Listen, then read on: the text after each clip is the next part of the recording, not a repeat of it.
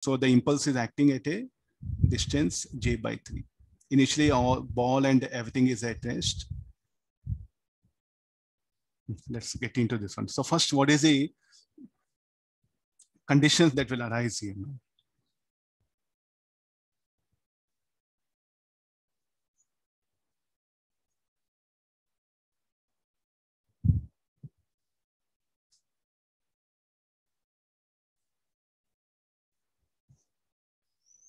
It is attached, it is attached to it.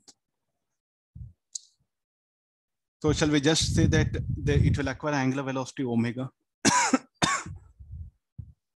so then what is the expression J into 2L by 3 should be equal to moment of inertia. Moment of inertia of the rod. Rod will be ml square by 3. That of the particle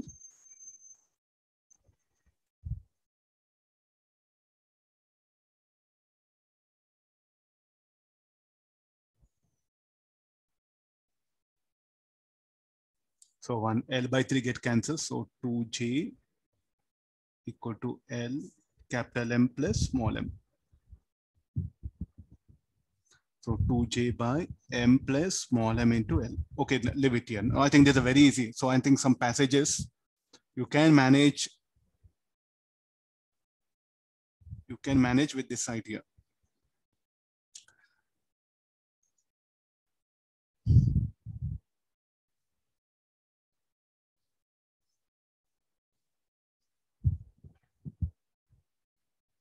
J into 2l by 3. No, I think I, I took it correct. No, j into 2l by 3.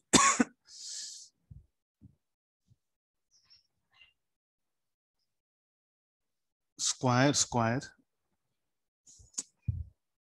Moment of inertia will be ml by 3. Okay, so some corrections are there. This is, I, I'm going to make it. I'm going to make it. This will become ml by 3 whole square. Am I right? Mm, yeah, no. So this will be 3 if you take it. So 3m will come. Yes, 6 will be there. Now look at the calculation. So this is our one equation. The first part is over. Find the impulse acted on the ball during the time interval delta t. How to bring this? So what was the state of the ball earlier? They were at rest, no? It suddenly started moving. So the angular, the and it acquired angular momentum. So I'll go for the a, a angular impulse. Uh, angular impulse, I think J theta we use symbol. Hope if you remember. What was the initial angular momentum of ball for ball? The, the then then is asking the find the impulse acted on the ball during the time interval delta t. So what impulse acted? Some j theta is in fact acted on it. So I'll put some j dash or jb, I'll write it. And similarly, the jb will act on this one. So this jb into L by 3 equal to LF. I think the, the, the rod will try to move, no? then it will push the ball. So the rod as it starts moving, then push the ball. So then the normal contact will suddenly increase. That will become impulse on the ball. And similarly, the ball will exert for impulse on the rod also. This distance is L by 3. Hmm.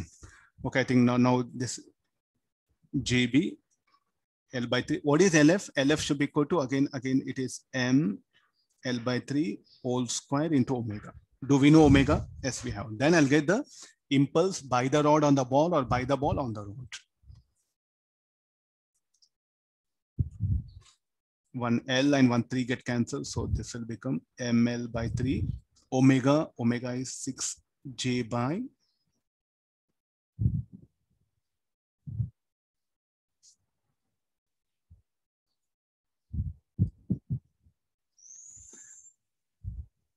six M. Okay, two mg.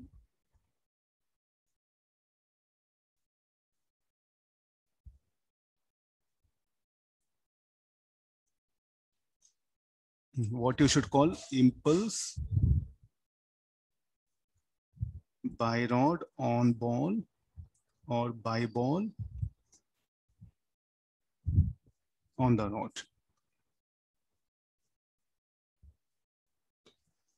Okay, luckily uh, we got it. now find the magnitude and direction of impulse applied by the pivot during the time interval delta t. Why the pivot should come? Will there be any impulse?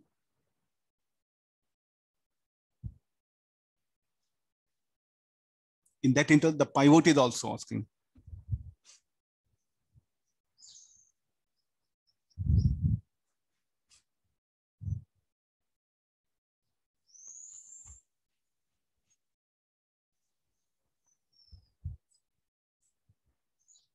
From where the, the idea has to be brought. I think we never found out, I think if you can remember, impulsive reactions, impulsive reactions, the pivot is what we have discussed few problems. So let, let, I'll, I'll bring one more diagram so that there won't be confusion for you. We'll take one separate diagram to study the impulses. So these things, I'll take it out. Hmm. Altogether, when you apply, I think whenever this impulses will come, so we do take help of, so let the impulse be J dash JR. I think it was a test, only the impulsive reaction will come along x-axis. Uh, why why there no impulse along why? Why or not? Because it was that when you apply impulse, the very next moment open, it will first it will try to move. This whole rod will try to move. The whole rod plus ball will try to move. The, the hinge will oppose. So therefore, the impulsive reaction. This is what acting on the so on on the rod or on this one on this i'll take it i'll solve it if i get negative i'll change the direction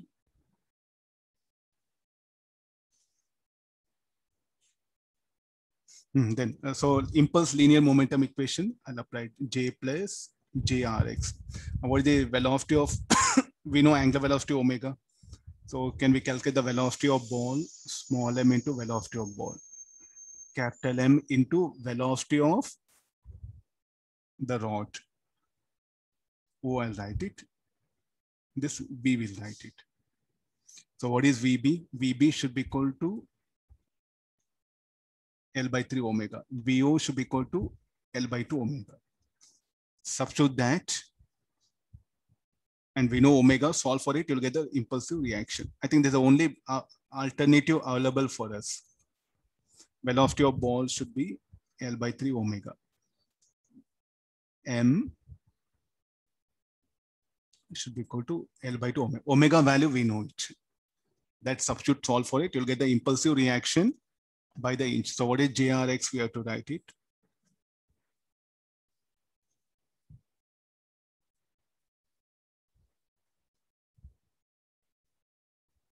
Reaction by reaction at hinge. Uh, the, the, this, sir, what is a thing? Is it, will it have any linear motion at that instant? Uh, because this hinge reaction will come at that instant. The moment you apply impulse at that instant, at that instant, what happen? I can describe translative motion of the rod, but it's only rotating. This will be very. If I write V, you it because you, you may start thinking it will start will have only translative motion. No, it will have only rotating motion. Due to this angular velocity, it will have linear velocity that we are expressing here.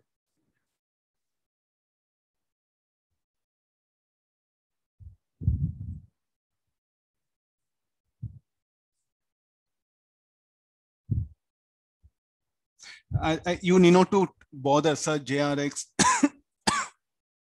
it all depends where you apply. If you get positive, okay, what you assume right. If you get negative, change the direction. JRX will be MJ by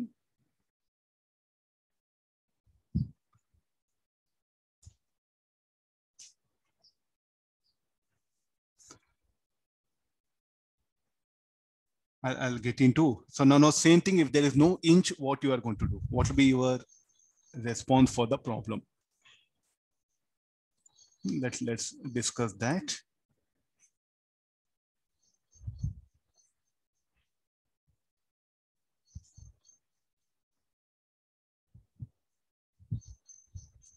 there's no hinge. How you do, how you manage this question now?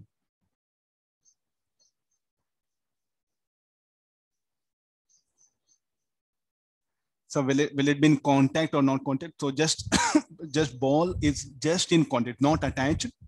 Ball is just in contact with the rod.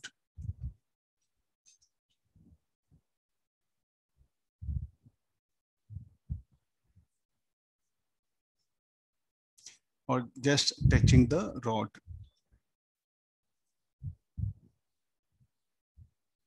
Hmm, no. Uh, what conditions will be? I think you can see only this. So initially they were at rest. So what is the state of rod? Rod was at rest. And the ball will also rest here. So the moment you apply, so what is the tendency of the rod? Is it rod free to move? Yes, the rod is free to move. So therefore, will it rotate about O? There's a point of contact P and the center of mass of system will come somewhere in between. P and O.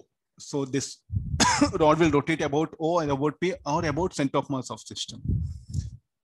The moment if you apply it, the rod will acquire linear momentum. Then there'll be impulse will also act. So what are the diagrams? The diagrams will take shape like this.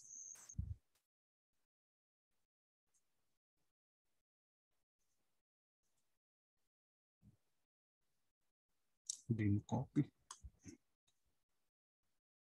No, no, no, no. What shall we do? We will.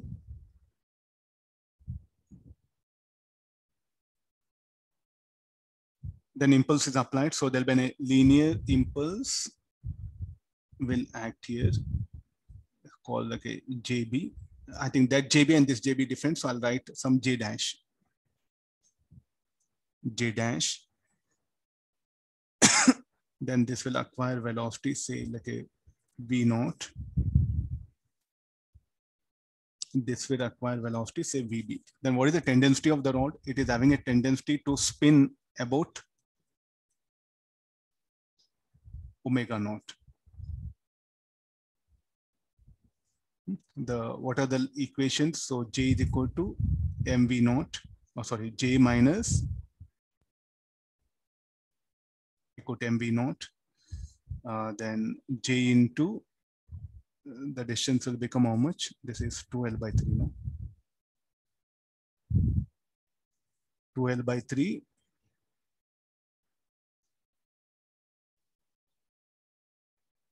L by 2 should be equal to moment of inertia, ml square by 2L into omega naught.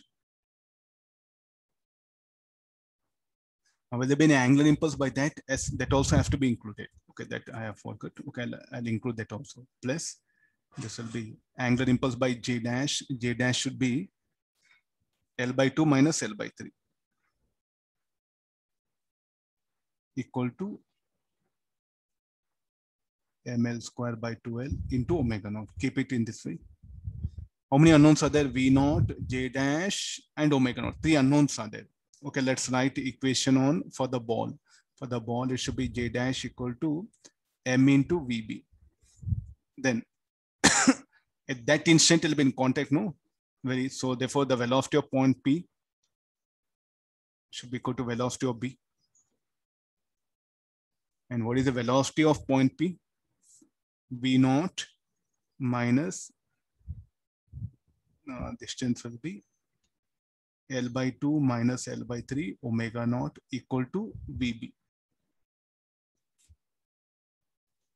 Now we can solve this.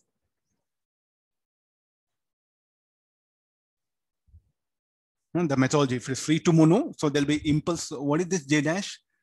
There's the impulse due to normal contact between the rod and the ball.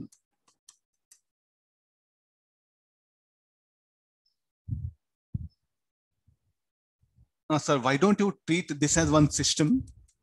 Uh, will you, sir, why, why all this, sir, like I'll treat this as one system and the rod plus ball will rotate about center of mass. Will you justify this? Anybody? You can put in chat box, yes or no.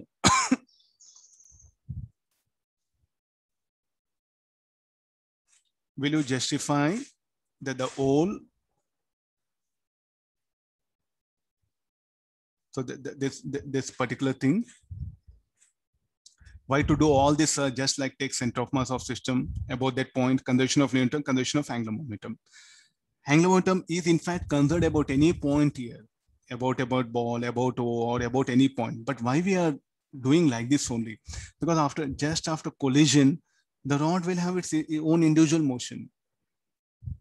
Why it is related to ball? They're not stuck because the ball is just touching the rod. I think this matters a lot.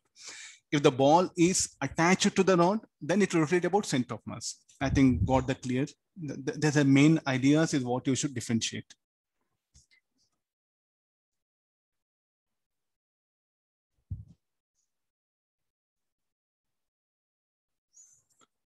Okay, I think see small, small things, maximum stress of small ideas of this one. You need to go for very big, very small ideas somewhere in a problem. Just change a small condition. You, you get a, exactly a different scenario. A new, new idea will come. Means like a, a problem is there. Just change some conditions and see, oh, like this will happen. If, if we're getting confusion, interact with the teacher. So th this is what the revision means. Revision means not solving again new questions what all you studied, analyze it, think on it, slightly change condition. What will happen? There, what happen? Your concept clarity will increase. That is what going to help you for you eh, to become a best engineer. If you just keep on solve problem and forget, where is the thinking? Analysis is very important. So take uh, what all the numericals you have gathered till now, do analysis on it so definitely I can see that the this approach is better. Every problem, I think there are five or six situations will come that you have to analyze. The preparation for advance in the revision, that is what a student supposed to do. Not like, say, I, I am not, you can solve problem, but the analysis, if you miss it, gone. I have junior class. Okay, we will uh, end up the class here. So tomorrow I'll continue again, rigid body mechanics. I have a few more good uh, ideas are there. I brought it. Hmm. Okay, thank you all of you.